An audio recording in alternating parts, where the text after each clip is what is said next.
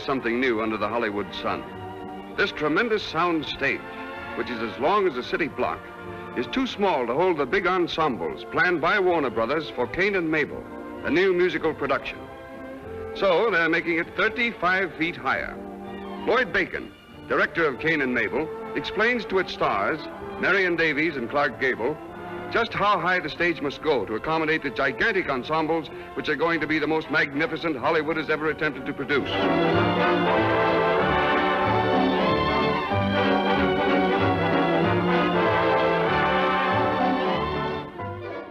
Hollywood Dateline. Ross May brings you the scoops for his radio program, Reitman for the Job.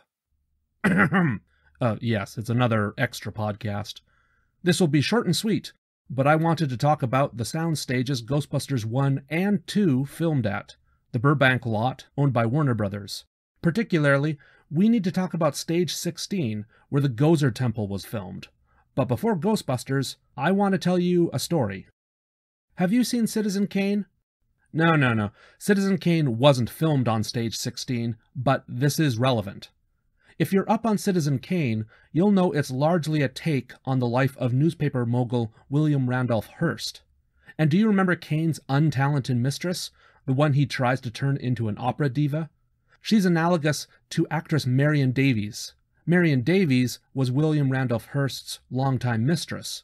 Though I want to be fair and point out Davies was far more talented than her fictional character in Citizen Kane. Here's how that story meets stage 16. In 1936, Warner Brothers was filming a movie, Cain and Mabel. Get it? It's like Cain and Abel, but one's a woman. Come on, it was the 30s. That's what passed for a joke back then. Anyway, this was a big song and dance show, and Marion Davies wanted the set to be taller. No, taller than that. Come on, taller. I said taller!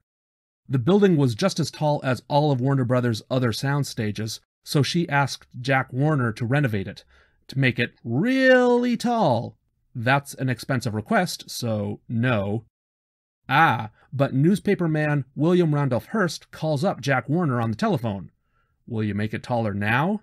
Well, if Hearst pays for it, then sure. So that's exactly what Hearst does. And they don't destroy the roof and build on top of that. Nuh-uh. They separated the building from its foundation, and hundreds of workers lifted up the building using jacks, and these guys all cranked the jacks by hand. Honestly, this was no different than jacking up a car. Only this was hundreds of workers, and if anything went wrong, the building would collapse and they would all die. Then they made supports with railroad ties. You know, the wooden boards underneath tracks. But they make towers out of railroad ties, and when the building was tall enough, they built new supports and walls. They nearly doubled the height of the building. If you include its basement, stage 16 is 98 feet tall. That's like a nine story building. Google Warner Brothers Burbank lot, and you can see stage 16. It looks just like all the other sound stages around it, except it's taller and has the Warner Brothers shield stuck onto it. And yes, you 90s kids, this is the same Warner Brothers backlot that the Animaniacs run around. Stage 16 is one of the largest sound stages in the world, and I believe the tallest in North America. You can also fill its basement with water and film water scenes there. Musicals were filmed there back in the day. Heck, this is crazy. The drag race in Rebel Without a Cause is actually stage 16. The horse racing scene in My Fair Lady is there. Steven Spielberg has filmed there.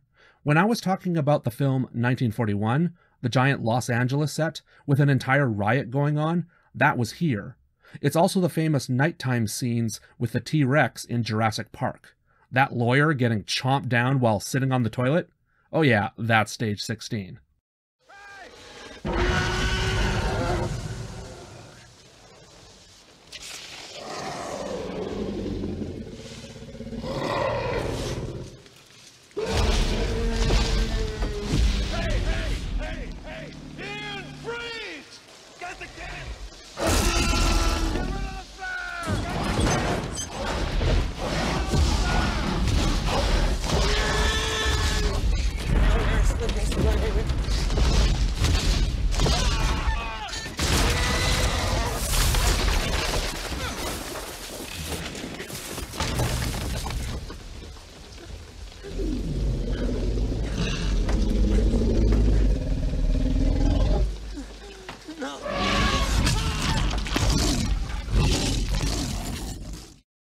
But there's more. More! The cave from the Goonies was filmed there, with the entire pirate ship inside it. Batman movies were filmed there. In Batman Returns, it's Gotham City with the giant Christmas tree and the circus terrorizing people. In Batman and Robin, it's the Frozen Museum interior.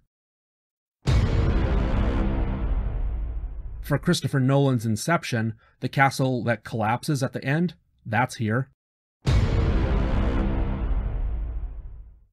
A very impressive movie was The Perfect Storm. That's a case where they filled much of it with water and created a storm inside a building. All they had to do was CGI the backgrounds, but the boat and the actors really are there, but indoors. That's crazy.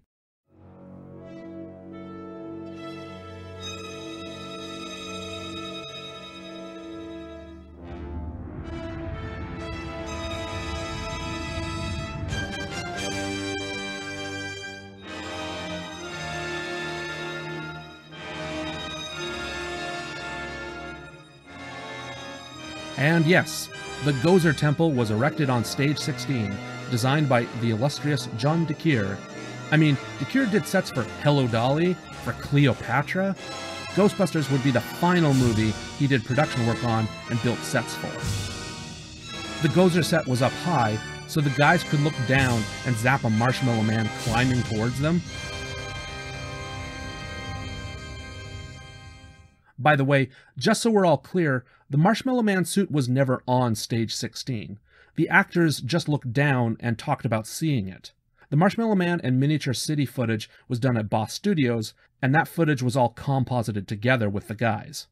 But the Gozer Temple was exceptional, and I always hear everyone involved in Ghostbusters talk with a certain thrill at being raised up on that set.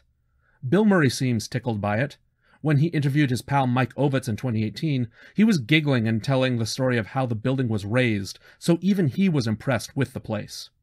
While filming Ghostbusters, the set used so many lights, the rest of the Burbank lot had to be powered down. That's how big, how much power the Gozer set with the New York panorama required. And then just think of that this is the same space that all those other movies, like the T Rex chase scene, happened. I think that's really neat. But now I'd like to widen our view about the Burbank lot in general. So why did Columbia Pictures film there if it's the Warner Brothers lot?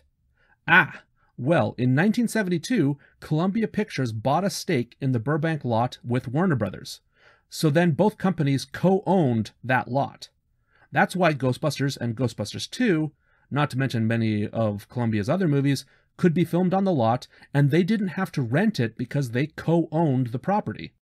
Columbia and Warner Brothers co owned it until 1990 after Sony purchased Columbia and Time Inc. merged with Warner Brothers. The newly minted Time Warner was thinking bigger, and part of that included not sharing a lot with another studio. Hmm, what to do, what to do.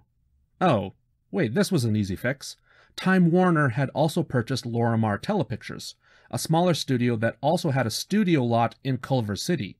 And this wasn't just any lot, it used to be MGM's. The Wizard of Oz and Singin' in the Rain were both filmed there. The Mount Rushmore scene in Hitchcock's North by Northwest was filmed there. So Time Warner had two lots. Sony sold back its stake in the Burbank lot, vacated it, and moved into MGM's old lot in Culver City. It needed extensive renovations, but hey, everybody came out happy. But back to 1984, and 89 as well for that matter. At the Burbank lot, aka the Warner Brothers lot, the Ghostbusters Productions built sets there because Columbia Pictures partly owned the lot. Stage 16 housed the spectacular Gozer Temple. Dana and Louis's apartments, including the hallways between them, were stages 12 and 18. This makes sense if you look at a map. 12 and 18 are one connected building. The Fort Dutt Detmerring scene was filmed there too. Thanks to Spook Central for pointing this out. Anyone will tell you the apartment and hallway sets were unusual because they were all connected, like they really were an apartment building. So you could walk from Dana's apartment through the hall over to Louis's. Of course, you also had the hotel hallway sets where Ray blasts Slimer and Peter gets slimed. And I think that's largely it for Ghostbusters. The important building to keep in mind is Stage 16, the building that they raised decades ago and where the Gozer Temple was built. But while we're on the subject, Let's jump five years to Ghostbusters 2. The River of Slime was on stage 16. That's a doozy of a set. The main museum room with Vigo was there. Peter's apartment was also on stage 16, which you wouldn't think would be very necessary until you realize it really did have an exterior wall for the ledge scene, where Dana and Oscar are outside the apartment. Other sets, including Peter's TV show, World of the Psychic, and Ray's Occult Books, were on different stages in the Burbank lot. And there you have it. Now, when I talk about the Gozer Temple, you have a frame of reference. Sometime Google Stage 16 Burbank, and you can get a load of this building yourself. It looks just like all the other buildings around it, except it's nearly twice as tall and has a Warner Brothers shield stuck to it. Mwah! Good night, everybody!